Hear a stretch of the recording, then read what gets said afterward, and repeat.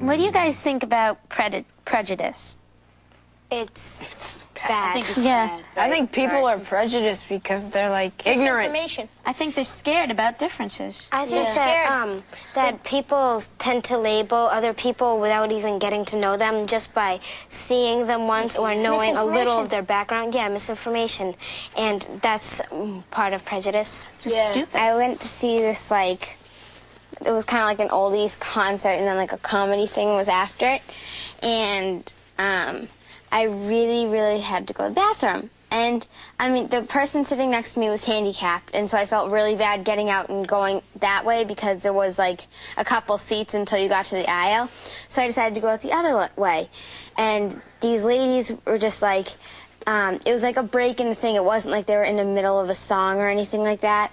And so my friend and I, we got up and we started walking out towards the aisle, and they were like, "Oh man, the kids are just so like rude nowadays." We were walking through saying "excuse me," like we weren't we weren't doing anything that would make them think that we were rude. We were like, "Excuse me, excuse me, oh sorry," like, and they were just like, "Oh come on!" I was like.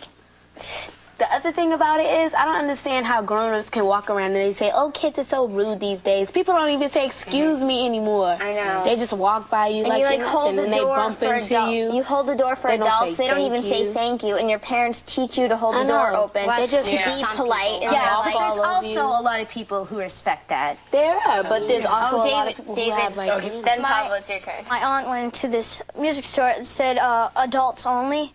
You know, because you're thinking, oh, it might have stuff that kids can't see, you know, that kind of stuff.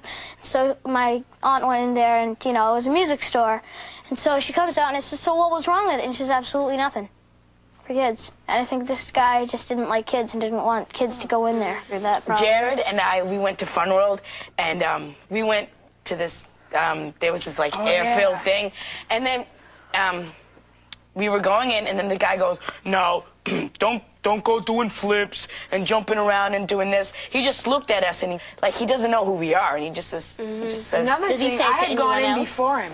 I had gone in before Pablo did, and he didn't say anything to me. And then he said it to Pablo. I was like, "Well, what about me? I'm with him," and it was really weird. I remember like a few years ago, I was at recess and someone goes, "Everyone, hi! The Russians are coming."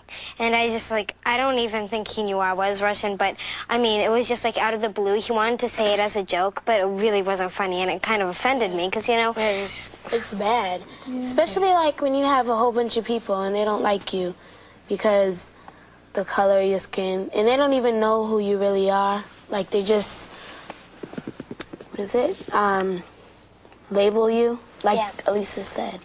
They just Yes. label you because of the way you look. They would say this, this kind of people, they're poor, this and this Yeah. kind of people. Like I'm Jewish, and there's like something like Jewish people are cheap, yeah. so stuff like that. Think about it. What like makes people think that it's okay to be like making other people's lives miserable? they probably think because they're better. Tell you the truth, I really don't know, but I don't know why they do it.